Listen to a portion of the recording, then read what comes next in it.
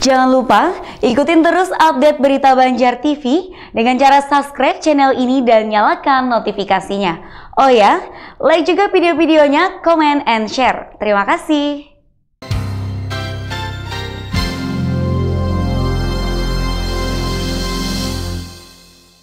Lintas Banua kembali ke hadapan Anda. 100 lebih anak didik dari 19 TK dan PAUD sekecamatan Tabukan, Kabupaten Batula, mengikuti perpisahan massal yang berlangsung meriah.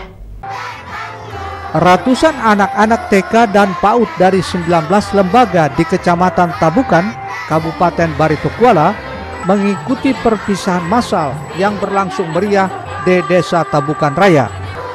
Perpisahan massal diikuti 186 anak TK dan PAUD Selain sebagai ajang memeriahkan kegiatan akhir semester, juga merupakan ajang untuk saling bersilaturahmi dengan berbagai lembaga pendidikan PAUD sekecamatan Tabukan.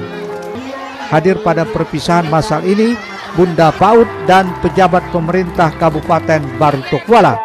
Diharapkan PAUD di Kecamatan Tabukan mendapat perhatian terutama terkait tunjangan guru sehingga lebih bersemangat lagi dalam meningkatkan kualitas PAUD agar tidak kalah dari PAUD di daerah lainnya.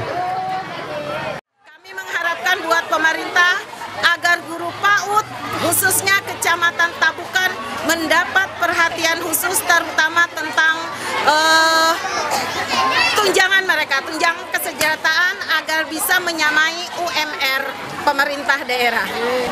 Dan dari pemerintah desa kami mengharapkan agar dana alokasi desa juga dianggarkan untuk honor guru PAUD. Uh, tentunya semoga pemerintah daerah semakin memperhatikan lagi khususnya kepada kesejahteraan para guru-gurunya. Karena tidak semua lembaga gurunya berstatus sebagai PNS jadi harapan kami mudah-mudahan kesejahteraan gurunya itu lebih diperhatikan lagi.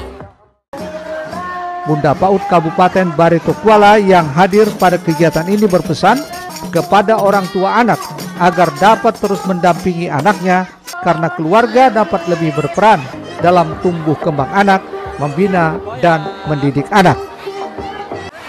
Harapkan seluruh orang tua terus mendampingi anak-anaknya.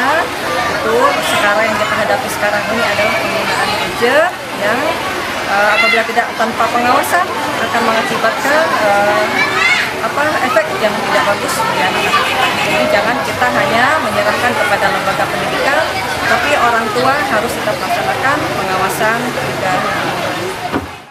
Dalam perpisahan masal ini diisi berbagai penampilan pentas seni anak yang merupakan ajang unjuk kebolehan dan bakat anak.